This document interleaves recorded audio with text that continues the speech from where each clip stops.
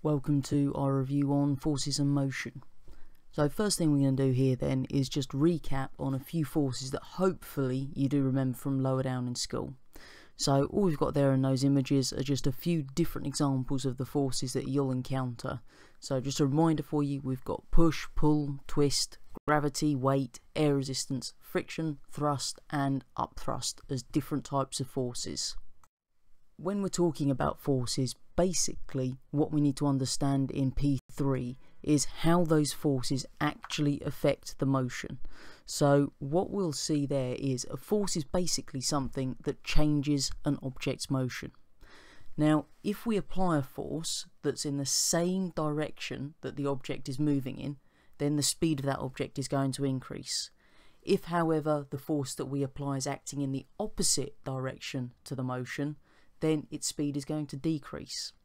The only other possible scenario we could see there is that the force acts in a different direction and at that point we'll see it change in direction, so turn for example.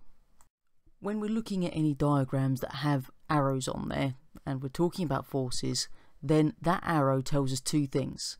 One, it tells us the direction the force is acting in, pointed out by the arrowhead, and the size of the arrow then tells us the size of the force. So what we've got in that diagram there then are three different vehicles. We've got our lorry, which is 8,000 kilograms, our car, 1,200 kilograms, and the motorbike, 600 kilograms. Now, they all have the same force acting on them to move them towards the right hand side, okay, to move them forwards.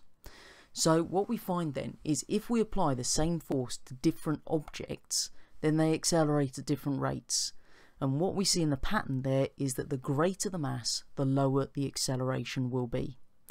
Now, if we've got two vehicles that have the exact same mass, the one that's got a greater driving force is going to accelerate faster.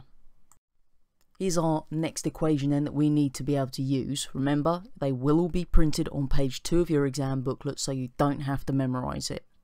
So the equation I'll print on page 2 for you is that the force in newtons is the mass in kilograms times by the acceleration in meters per second squared.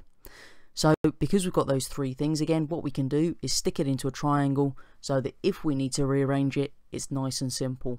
So force goes on the top and then mass and acceleration on the bottom of our triangle there. To give you an example of the kind of question that might come up, we might have one like this here. A cyclist accelerates at 1.5 meters per second squared. The mass of the bicycle and rider is 90 kilograms. What force is the cyclist producing?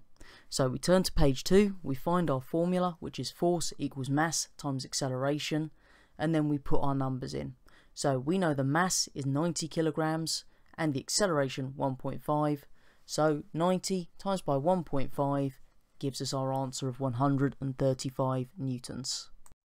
If you're asked to work out something that requires you to rearrange the equation, remember the easiest way to do that is to use the triangle.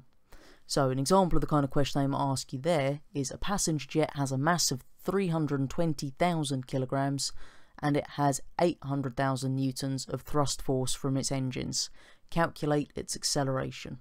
So we know that force is mass times acceleration, and then if we put that into a triangle to rearrange it, the acceleration is going to be the force divided by the mass.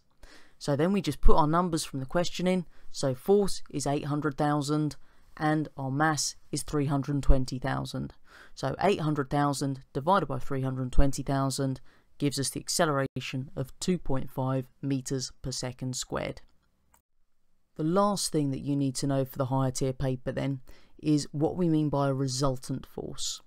Now, sometimes we'll be asked to calculate the acceleration of something that has a force acting in two different directions.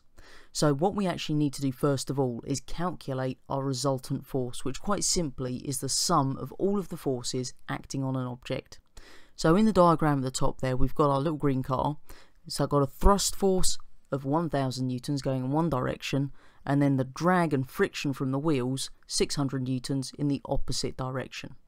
So our resultant force quite simply is 1000 minus 600. So it's the difference between those forces. So what we see there, that gives us a resultant force of 400 newtons. So if we then want to calculate our acceleration, force equals mass times acceleration. So rearranging that gives us acceleration is force divided by mass. So we've got to remember the force is our resultant force this time. So it's 400 newtons divided by the mass of our car, which is 800 kilograms, and that gives us our answer of 0.5 meters per second squared.